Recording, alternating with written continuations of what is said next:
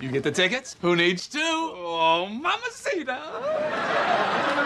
Special sneak preview of Death Blow. Death blow. When someone tries to blow you up, not because of who you are, but because of different reasons altogether. Yeah. Right. Run up. Hey, Jerry, you think you can get an extra ticket for my friend Brody? Kramer, you know what I had to go through to get these? I know, but he's a big fan of the genre. You know, I'd consider it a personal favor to me. Yeah, I guess I do owe you. Yeah.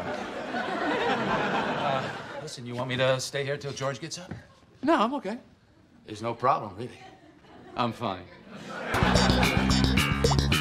We have the show business is here. Oh, there's Brody. Brody, over here. Hey, Kramer. Yeah. And uh, you must be Jerry. Thanks for the ticket. It's quite a feedback you're working on there. It's for all of us. Is there a problem? Yeah, Brody, Brody, come on, he's just kidding. He's a joke maker. Tell him, Jack. I'm a joke maker. All right, here we go. Death blow.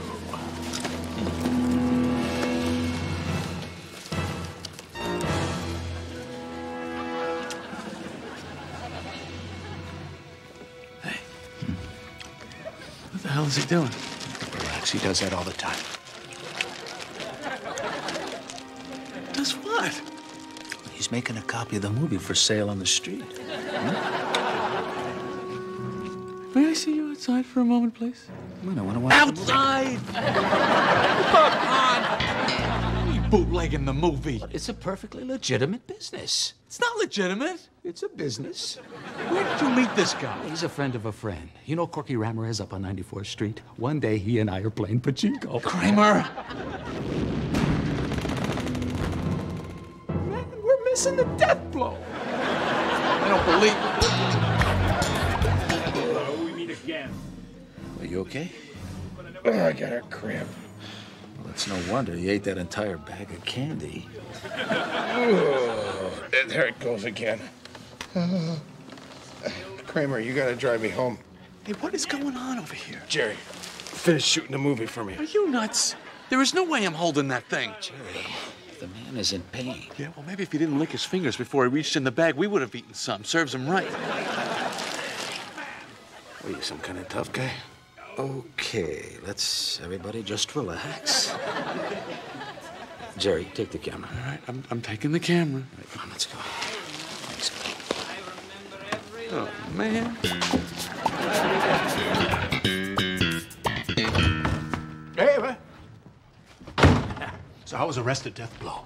How was the rest of Death Blow? Yeah, who got the final death blow? Because I thought that Hawaiian guy, he had it coming to him, huh? Kramer, you make me get a ticket for this friend of yours, and then the guy forces me to bootleg a movie at gunpoint? He's quite a character, isn't he? You know, he came by here last night, 3 o'clock in the morning, to pick up the tape. I was scared out of my mind. Yep. Brody. Yeah, come on up. It's Brody. He's. What? Are you crazy? I don't want to see this guy again. Jerry, you did him a favor. He probably wants to come up and thank you. What if I didn't do it right? Well, it's your first time. He'll understand. People with guns don't understand. That's why they get guns. Too many misunderstandings. Hey, Brody. Hi. Jerry, I have to talk to you about the tape. Yeah. I've never seen such beautiful work. What? You're a genius. The zoom ins, the framing. I was enchanted. Well, to the best I could. I got another project for you. Here. It's a movie called Cry Cry Again. I was going to give it to one of my other guys, but it's an arty movie, and quite frankly, they don't have the sensibility. Uh, may I use your phone? Uh, yeah, yeah. It's uh, under the couch.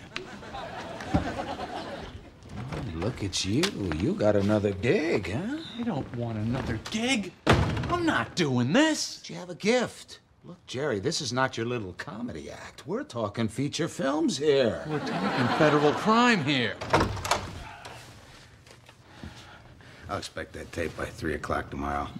Uh, may I borrow this, please? Yeah, sure. Oh, you need a glove? Nah.